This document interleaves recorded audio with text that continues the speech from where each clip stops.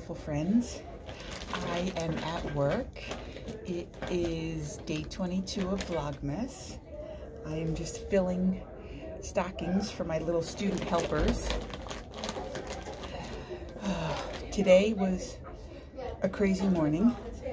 I apparently did not have enough coffee before I left the house because I am sitting there fighting my door, trying to get out to get to my car when I realized I had not undone the, the deadbolt. So I'm trying to lock, open a door that is still locked. Five minutes it took me to realize that the deadbolt was still on, in.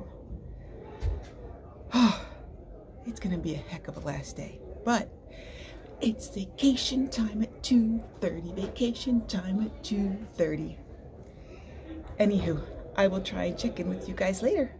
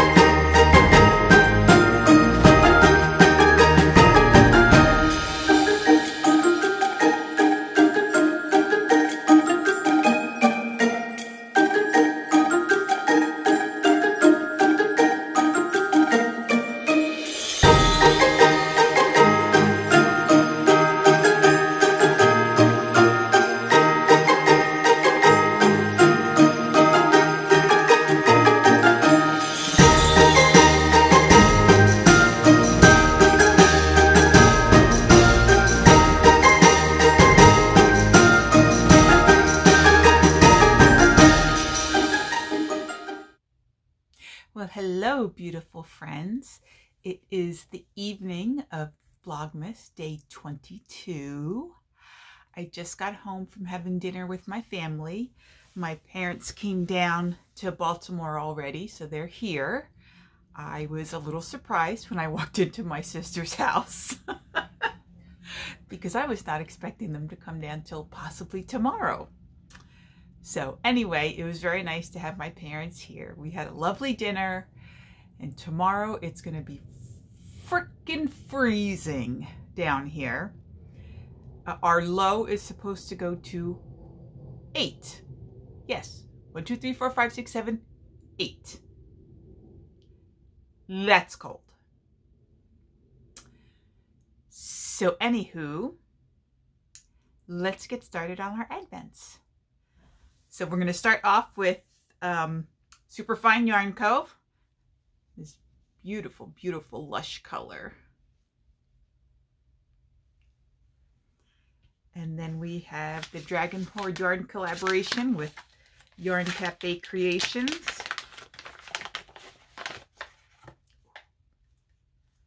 And this one is called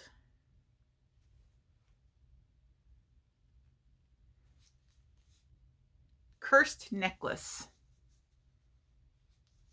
So pretty.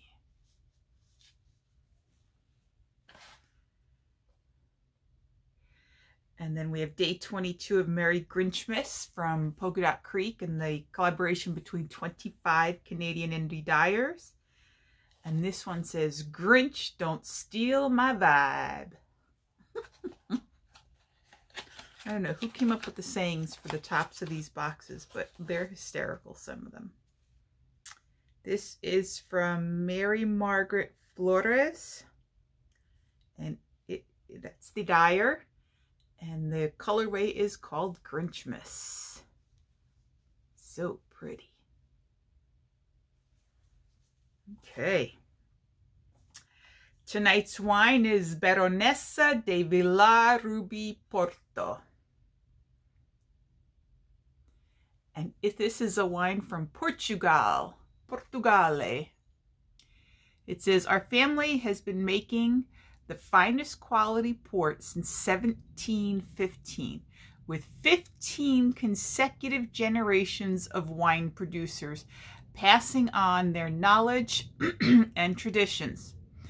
The Baronessa of Villar was our maternal grandmother, and this port captures some of her elegance and strength.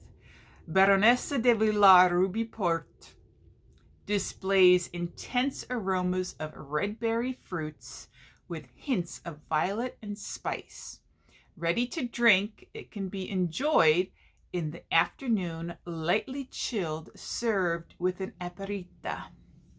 No idea what that last word was. mm. Yeah, it definitely smells strong. It is definitely a deep, deep red with a hint of brown. And then tonight's chocolate is a white chocolate ganache bliss. Mm. Sounds yummy. So let's try the wine first. Mm.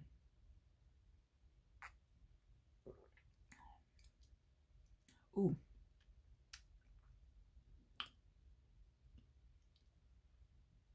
That has a very interesting taste.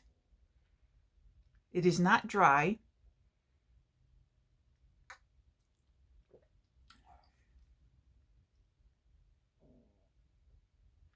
I don't like that one.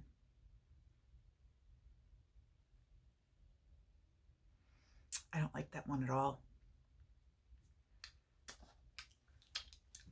I need water.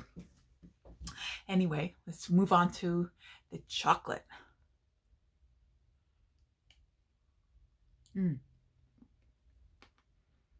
Mmm. That was good.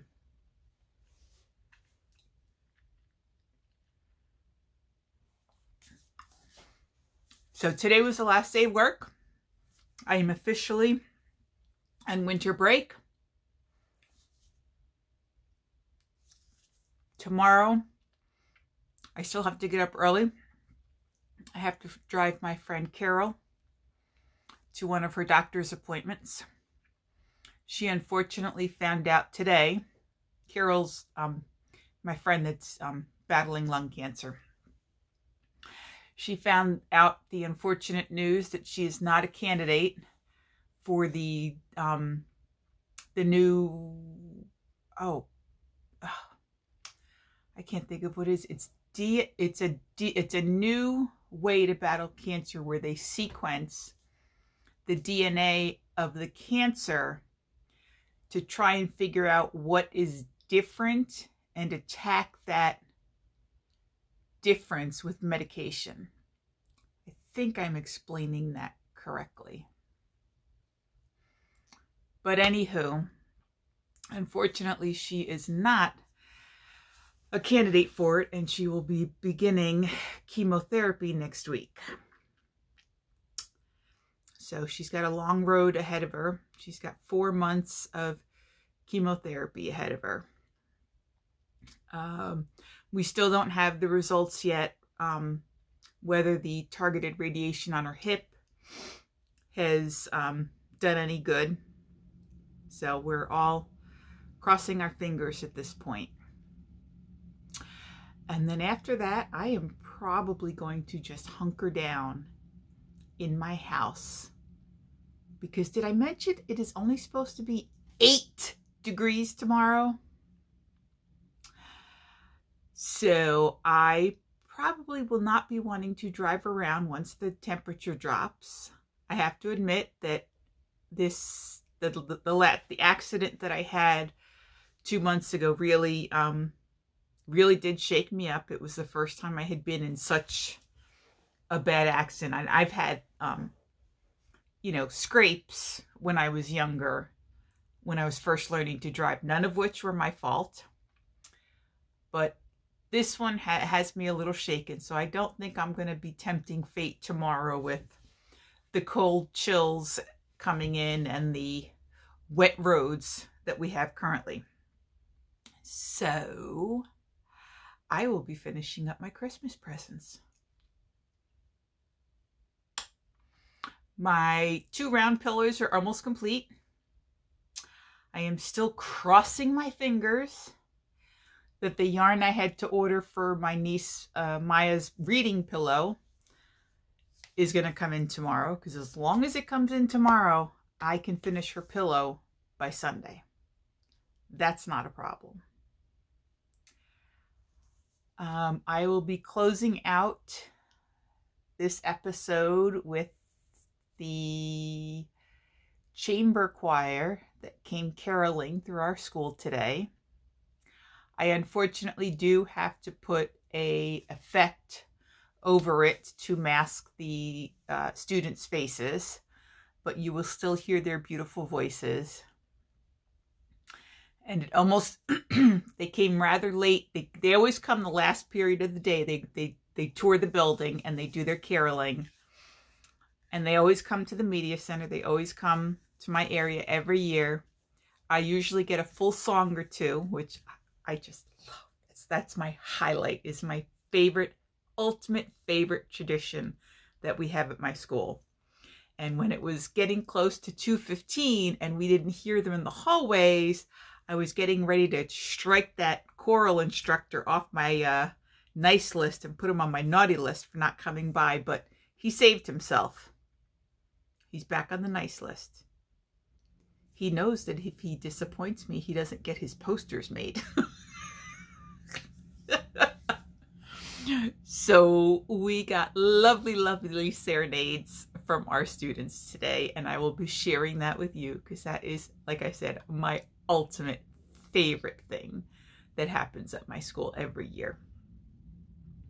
And on that note, if you are anywhere, anywhere in this storm cold blast that's heading our way, I, I sincerely, sincerely hope that you are staying warm, that you are staying safe,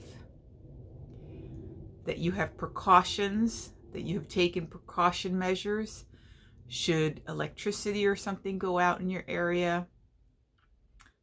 I hope you have all the extra blankets that you'll need. This is this is going to be a bad one and I am putting out all the good juju that I can for you guys that are that are going to be affected by it. Especially those of you that are in the Midwest and the North, the Northeast, where you're the Buffalo area where they're expected to get, I think, two and possibly three feet of snow. I, I hope you are all safe. I hope you are checking in. Please, please be checking in with your loved ones if you're in one of the snowy areas. If you have elderly neighbors, please check in on them. I I hate this time of the year. I love it, but I hate it just for this reason. So please stay safe, stay home, cuddle up with your loved ones, and I will see you all tomorrow. Ciao, ciao.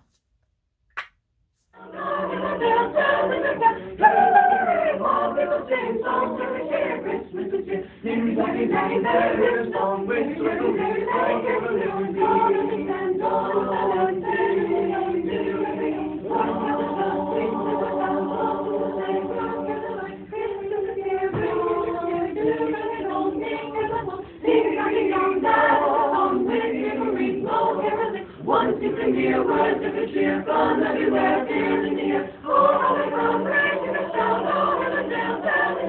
Hey, all people sing songs of a cheer. Christmas is sing. Many, many, many, many, many songs. Many, many, many, many, many things. On the descent, all of them, there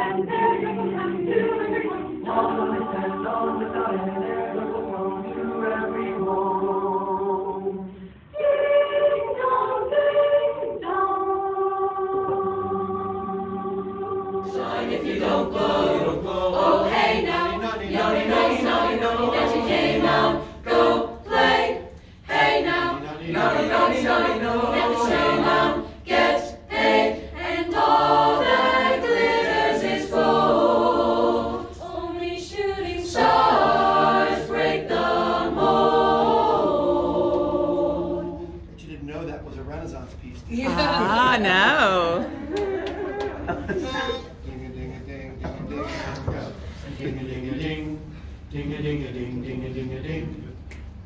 Dong ding a ding a ding ding a ding ding a ding ding a ding ding dong. Ding a ding ding a ding ding dong ding a ding ding a ding ding a ding ding.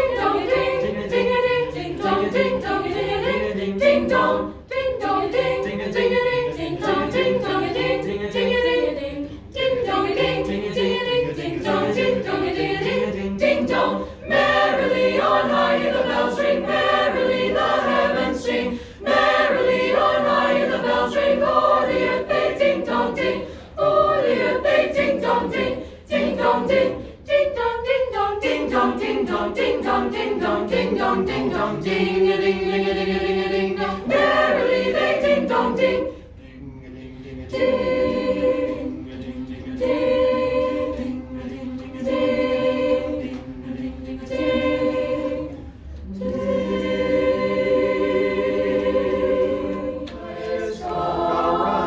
Thank you. Thank you.